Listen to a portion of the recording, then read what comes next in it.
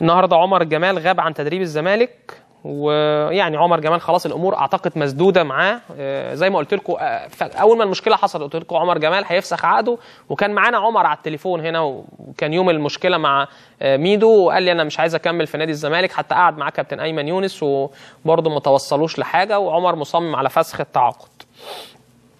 وزي ما قلت لكم يعني النادي المصري في عرض لعمر جمال. من بداية الموسم القادم رغم أن الأستاذ ياسر يحيى رئيس النادي طلع معانا وقال لي لا مفيش حاجة والكلام ده لكن أنا بقول لكم في آه، مفاوضات من النادي المصري مع عمر جمال.